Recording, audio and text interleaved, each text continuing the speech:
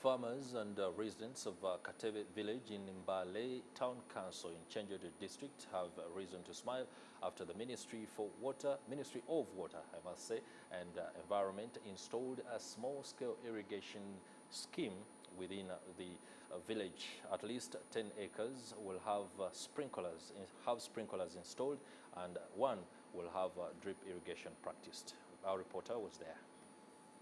This pilot project was implemented under the Department of Water for Production at a cost of 670 million shillings to ensure that the communities engage in production of high value crops like tomatoes, cabbage, watermelon, and green paper to improve livelihoods, nutrition, and standard of living. Kyenjojo district, specifically Mbale Town Council, is well known for growing maize, but farmers say maize production has not had any impact on improving their livelihoods.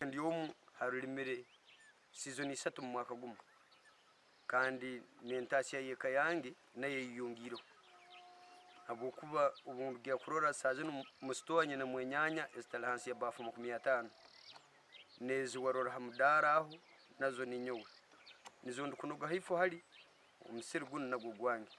Ninyowe arukukora nka manager wakatebe small scale irrigation scheme challenge of the marketing we yield uh, in a, in a, in a good but uh, and the weather is good but the real problem we have got is uh, where the market is not near transport is very difficult to reach the market and even the road are not well tarmacked RDC Chinjijo district has promised to ensure that the project lives to serve its intended purpose. given this uh, project to the farmers and uh, of course government through the Ministry of Water and Environment did good work and there is value for, money. We have, we have discovered that there was value for money. Now, as somebody in charge of security of most of these projects, uh, we are now looking at sustainability of the project. The government did its part.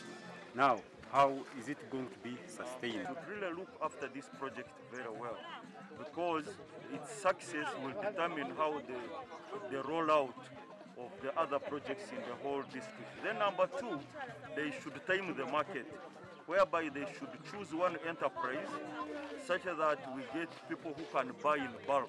Engineer Edward Tumwesigye, who represented the commissioner in charge of water for production under the Ministry of Water and Environment, noted that the purpose of the project is to bring water nearer to farmers for better production. purpose of this project, uh, uh, the ministry intends to to support communities, give them water, water being the one of the major aspects of production, uh, provide farmers with water to use in farming so that they can elevate their standards, they improve on the poverty levels, and they, they enhance the household income. Farmers hope that the project will enable their village transform through improving nutrition among children, income, and setting up permanent houses. This story was compiled by Adolf Ayoreka for the news in Kyenjojo.